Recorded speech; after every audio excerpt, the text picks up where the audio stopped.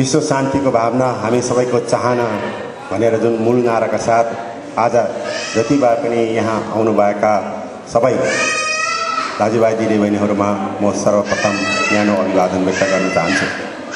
यस कार्यक्रमलाई शोभा बढाइदिनु हुन आज यहाँ उपस्थित हुनुभएका कार्यवाहक राजदूत देवेन्द्र प्रसाद अरियालज्यू नेपाल टुरि टुरिज्म बोर्डका अनरी ध्रुव केसीज्यू तमुदी युकेका अध्यक्ष सुभाष सिंह गुरुङ लगायत अन्य विभिन्न सङ्घ संस्था तथा यस संयुक्त कार्यक्रमका सम्पूर्ण सदस्यहरूमा म फेरि पनि न्यानो अभिवादन व्यक्त गर्न चाहन्छु। हामी आज सङ्ख्यात्मक रूपमा धेरै थोरै देख्छौँ तर हाम्रो भावना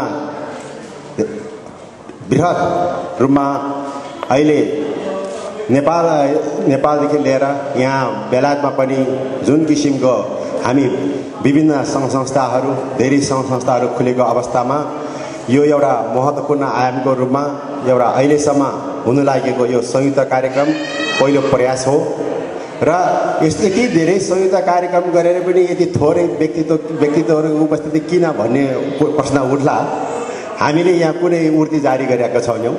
किनभने उर्दी जारी गऱ्यो भने सङ्ख्यात्मकमा वृद्धि गर्न सकिन्छ। तर पनि हाम्रो चाहना के भने अहिले हामी विभिन्न संस्थामा आबद्ध भए भएपछि सबै संस्थाका या त यता टोलको नाताले या त जिल्लाको नाताले या त गाउँको नाताले या त संस्थाको नाताले त्यो संस्थामा संस्थाको कार्यक्रम मात्रै आप मान्छेहरूको चाहिँ सहभागिता हुने भएको हुनाले अन्य समुदायमा ती एउटा ग्रासरुटको हामी विभिन्न जात जाति या विभिन्न तबकाका वर्गहरूको एक ठाउँमा ल्याउने उद्देश्यका साथ यो कार्यक्रम आयोजना गरेको हो र सायद यो बेलायतमा प्रथम कार्यक्रम नै हो यसरी तिनवटा संस्थाको संयुक्त आयोजनामा।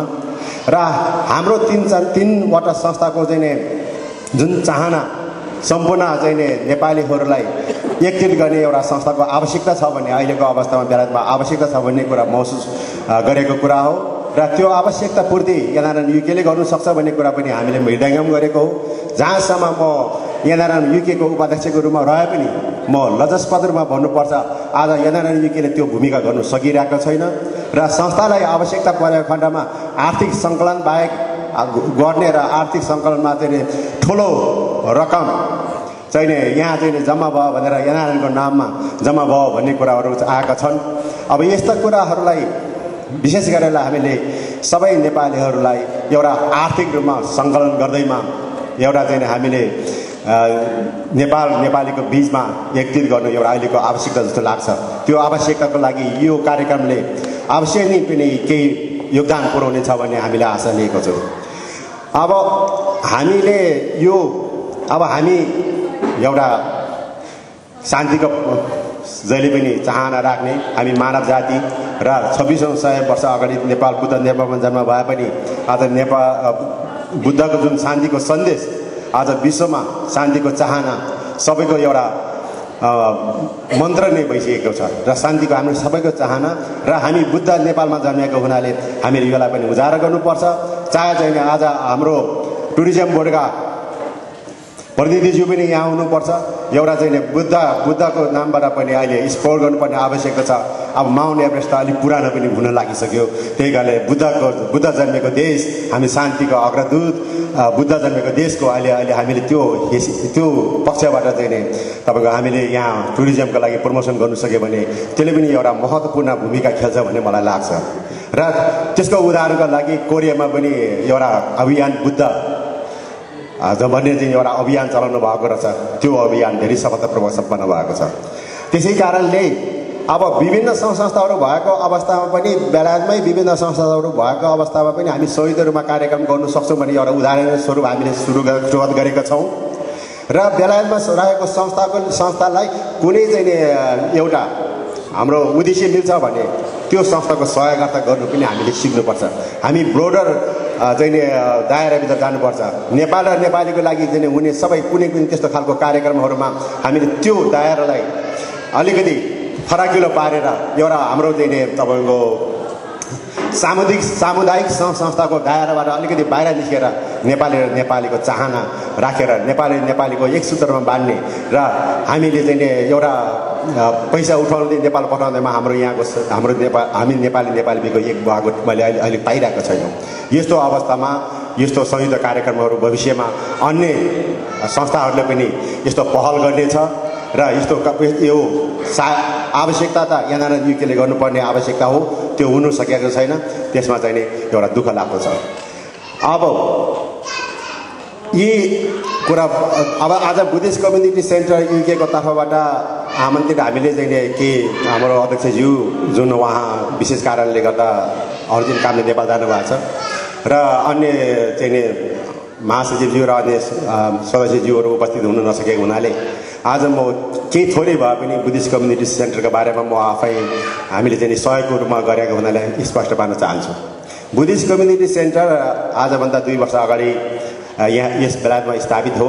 र त्यो संस्थाले एउटा बुद्धिज्म सम्बन्धी प्रशिक्षण प्रवचन र एउटा एउटा गुम्बासहित कम्युनिटी हलको अवधारणा लिएर अगाडि बढेको छ।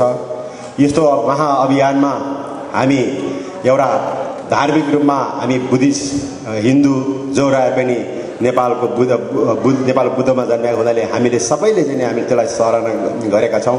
त्यस्तो अवस्थामा यसलाई चाहिँ हामीले एक रूपता दिएर यसलाई साथ दिएर हामी सबैले एउटा चाहिँ नि गुम्बा निर्माण गर्नु सक्यो भने एउटा हामीले नेपाल र नेपालीको पनि यहाँ एउटा भर्तीको रूपमा स्थापित हुन्थ्यो र त्यसमा अवधारणा कम्युनिटी हलमा हामी यस्ता कार्यक्रमहरू गर्न सक्थ्यौँ भन्ने कुरा उहाँहरूले उद्देश्य लिनुभएको छ। त्यही उद्देश्यका लागि आज यो हामीले सांस्कृतिक के भन्छ शान्तिका लागि स्वर्णिम सन्देह चाहिँ आयोजना गरेका छौँ। त्यसमा यहाँहरू जो जति यहाँ आउनुभयो यो कार्यक्रम सफल पारिदिनु यहाँहरू सबैलाई फेरि पनि स्वागत गर्दै यहाँहरू बिदा हुन्छु। धन्यवाद। आजको हाम्रो कार्यक्रम संयोजक श्री आङथाउजङ लामाज्यूलाई उहाँले उपस्थित सम्पूर्ण महानुभावलाई स्वागत गर्दै आजको हाम्रो कार्यक्रममाथि पनि छर्लङ्ग प्रकाश पारेर जानुभएको छ। अब हामी कार्यक्रमको मुख्य पक्षतिर आइपुगिसकेका छौँ त्यो हो हाम्रो कार्यक्रमको समुद्घाटन। तसर्थ आजका हाम्रो प्रमुख अतिथि। बेलायतका लागि नेपालका कार्यवाहक राजदूत महामहिम श्री झविन्द्र प्रसाद अरियालज्यूलाई अगाडि बुद्ध भगवानको तस्विरको अगाडि राखिएको छेमी प्रज्वलन गरी आजको हाम्रो कार्यक्रमको समुद्घाटन गरिदिनुको लागि सविनम्र अनुरोध गर्दछु। र आज हामी सबै शान्ति गौतम बुद्धको जन्मथलोको नागरिक भएको हैसियतले र हामी सबै नेपाली भएको हैसियतले हरेक मानवको हृदयभित्र शान्तिको भावना उजा हामी प्रत्येकले आफ्नो मनभित्र पनि शान्तिको भावना उजागर गरौँ। त्यसैले शान्तिको स्थापना हामी प्रत्येकले आफ्नो मनभित्र शान्तिको विचारोपण गरेर हुनुपर्दछ।